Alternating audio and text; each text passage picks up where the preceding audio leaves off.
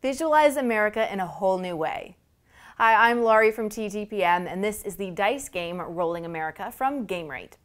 Players receive a map of the United States and must fill each state with numbers rolled on the dice.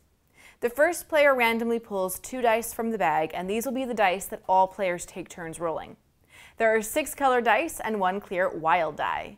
If you roll one of the colored dice, choose one empty state in the region of the map that matches the die color, and write down that number in that state. If you roll a wild die, choose one empty state in any region and write down the number rolled in that state. Sounds easy, right? Well, there's something called the neighboring state rule, which means that all the states bordering the state you fill in must be blank, have an X in them, be guarded, or have a number difference of no greater than 1 from the die result. If you're unable to write down a number without breaking this rule, you must mark an X. There are three additional options to play on your turn, and each option can be used three times during the game. First, you can change the color of one of your die. Second, you can guard a number that you write in the space so that you can ignore the neighboring state rule for that number. And third, you can write down an active die number twice in the matching color region.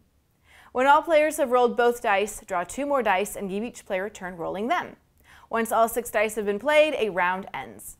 Place all dice back in the bag and start a new round. Whoever fills the most states with numbers after eight rounds wins. This dice game combines visual strategy and planning with dice rolling luck. You'll need to think through each number placement as you fill in your maps and wisely utilize the three play options. If you want, you can even try to identify the states as you fill in the numbers. This will be a fun strategy game for the whole family to play. It's for one or more players ages 8 and up.